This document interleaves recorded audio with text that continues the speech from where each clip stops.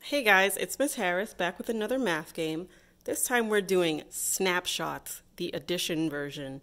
So as a reminder, snapshots is about showing a group of objects to a child quickly and then covering them up like a quick snapshot or picture.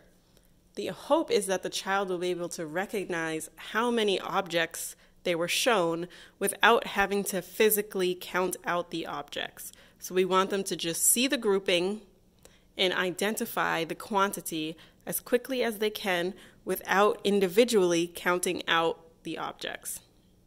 So for this game, you are going to need materials. You this is a really basic game. You don't need that much. Basically, you need any objects that you can count. I'm going to recommend something that's fairly small um, because you're going to want to be able to cover it up. So um, you could use Legos, you could use you know, pieces of bow tie pasta.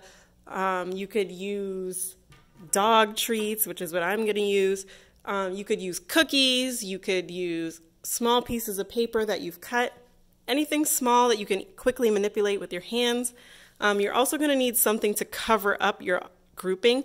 So I just have a piece of cardboard from a cereal box um, because you're going to arrange your grouping.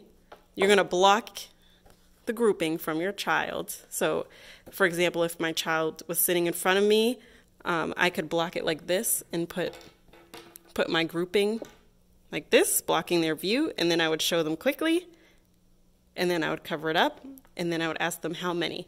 So we're going to do that, but we're going to do it with addition. So we're going to have two distinct groups, hoping that they can quickly count in their minds in their heads how many objects there are in total. Okay, so I'm going to show you first how you would play the game um, with your child, um, and then I'm going to do some practice rounds so you could see how the lesson would flow. So, if your child was sitting, if you were sitting here and your child was sitting across from you, you would want to block their view. So, you want to put your cardboard in the way, whichever way, maybe draw a picture um, of a camera or something fun on the back, then you're going to want to make your grouping. So I'm going to do a simple one at first. Remember, this is addition, so we want the groups to be separate from each other, visually separated, so leave some space. So we have two objects over here and one object over here. Then we would say, see how many you can see.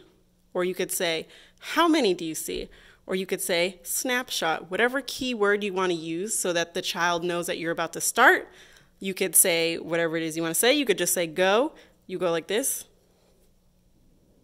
Give them about three to five seconds. And then cover it back up so they can't see. Then you want to ask your child, how many were there? How many bones were there? How many Legos? Whatever object it was. Um, you want to get them to say however many there were in total. So, for example, we would want them to say three. Now, if they say two, you want to, you know, show them the objects and say, yeah, I see that there's two on this side, but there's another one over here. So, how many are there altogether? You want to remind them that they want to count all of the objects in front of them, not just one group. So, we'll try that again. So, for example, I have four bones here. I would have set it up I'm sorry, the lighting is so bright. The sun is setting. Um, so I have, you know, two objects on this side, two objects on this side.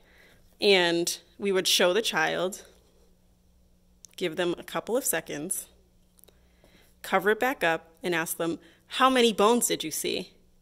And again, the goal is to get them to say, I saw four. There were four. If you want, you could also incorporate um, the written equation into this game, I would suggest playing the game without writing first for a few um, a few days, or if you if you're alternating doing math activities and literacy activities. I would say practice the game a couple of times before you start to incorporate the writing. But in this example, obviously we have two on this side and two on this side. So we saw two groups of two. So you want to introduce this equation. So 2 plus 2 equals we would ask them how many. They would tell us four. Ideally, you'd want them to write the numeral um, that they solved for so that they can get the writing practice and the number practice. So again, if this was um, you and your child, you would cover it up, show them quickly. How many objects did you see? Hopefully that they would say six. Again, if they say three, you want to give them another chance to look at the whole grouping. Give them a few seconds. Not too long because you don't want them to start pointing out the objects or counting them out loud.